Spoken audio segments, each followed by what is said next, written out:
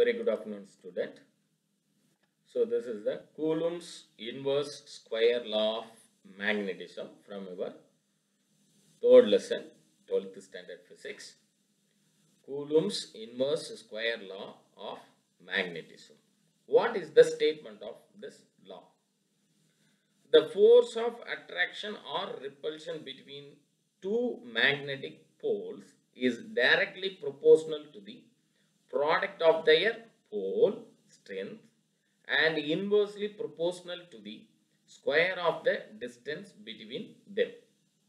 So, force of attraction or repulsion between the two magnetic poles. Maybe the poles are same means repel to each other.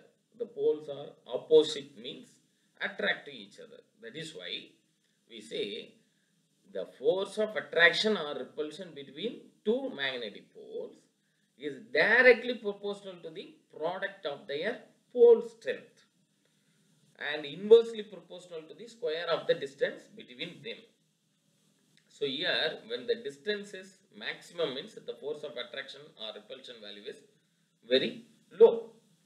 If suppose the distance between the two magnet is very low means decreases means the force of attraction or repulsion is increases or high based on the product of the pole strength. So, the force of attraction or repulsion between two magnetic poles is directly proportional to the product of their pole strength and inversely proportional to the square of the distance between them. Now, I am going to explain this law with the help of the diagram. Consider the two bar magnet A and B shown in the figure. When the north pole of the magnet A and the north pole of the magnet B are south pole of the magnet A and a south pole of magnetic B are brought closer, they repel each other because same poles are repelled to each other. Next, if suppose on the other hand, when the north pole of magnet A and south and the south pole of magnet B are the south pole of magnet A and the north pole of magnetic B magnet B are brought closer.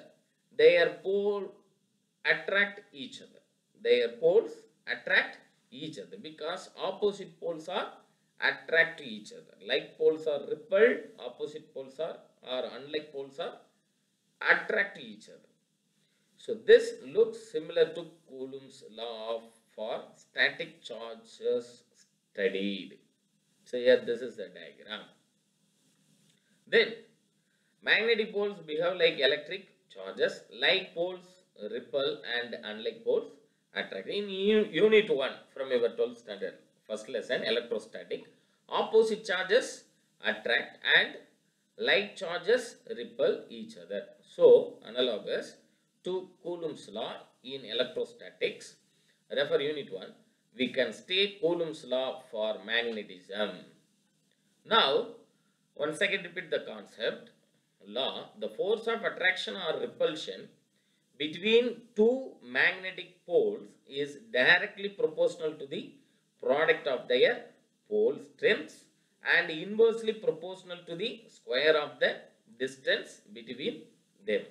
In mathematically, we can write force F vector is directly proportional to product of the pole strength. That means QMA, QMB divided by inversely proportional to square of the distance between that is why R square into R cap. Once again repeat force effect R is directly proportional to pole strength QMA into Q MB. That is the product of the pole strength QMA into QMB divided by R square into R cap where MA and MB are pole strength of two poles and R is the distance between two magnetic poles.